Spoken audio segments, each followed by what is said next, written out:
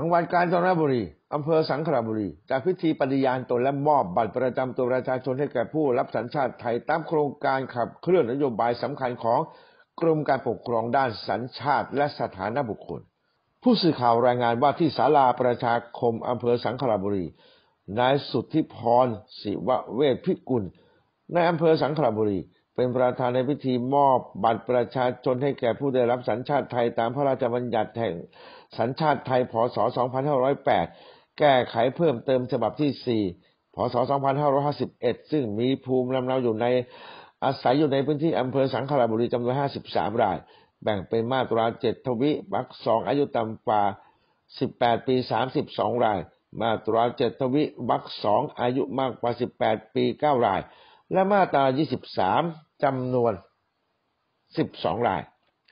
ซึ่งกิจกรรมในวันนี้ถือว่าเป็นการขับเคลื่อนโครงการสำคัญของกรมการปกครองประจำปี 2565 ภายใต้ชื่อ10 Flagship to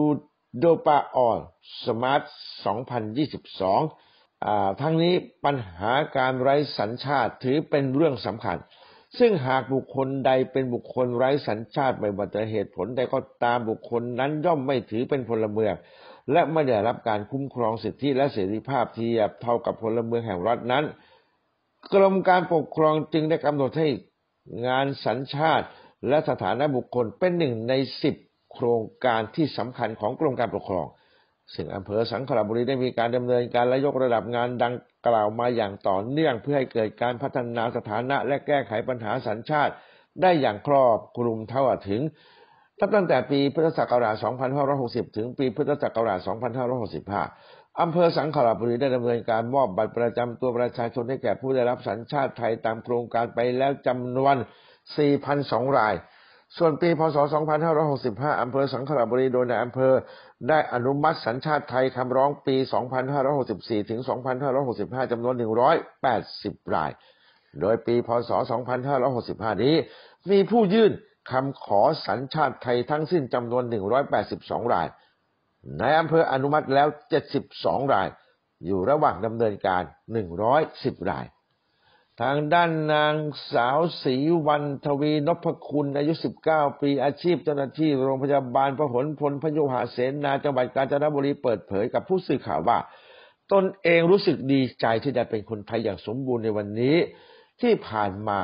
การไม่มีบัตรประชาชน ทำให้ตนเองรู้สึกน้อยใจ เนื่องจากไม่มีสิทธิ์อะไรในหลาย ๆ เรื่อง ไม่มั่นใจในการดำเนินชีวิตทั้งในเรื่องของการศึกษาและการประกอบอาชีพตนจึงเรียนแค่ม .3 เพราะไม่รู้ว่าจะไปเรียนเพื่ออะไร ถึงวันนี้ตนเองได้เป็นคนไทยมีสิทธิ์เหมือนคนทั่วไปจะได้เปลี่ยนความคิดในการดำเนินชีวิตและกลับมาอยากมาเรียนต่อเพื่อนำไปใช้ในการทำงาน โดยตนเองตั้งใจจะเรียนต่อที่กศนนจนจบม .6 และจะไปเรียนต่อผู้ช่วยพยาบาล เพื่อทำงานในโรงพยาบาล ซึ่งเป็นอาชีพที่ตนเองรัก ต่อจากนี้ไป ก็จะตั้งใจดำรงตนเป็นพลเมืองที่ดี เพื่อเป็นการตอบแทนที่ได้รับโอกาสในครั้งนี้ เราคือบัตรบัตรสีชมพู ใช้ชีวิตก็ดีการเรียนก็ดีกันอย่างไรบ้างพวกเราก็ดีแต่ว่ามันในเรื่องของการเดินทางมันลำบากหน่อยนะคะตั้งแต่เรียนเองตอนนั้นเราเลยเคยเคยท้อไหมว่าเอ๊ะถ้าเราไม่ได้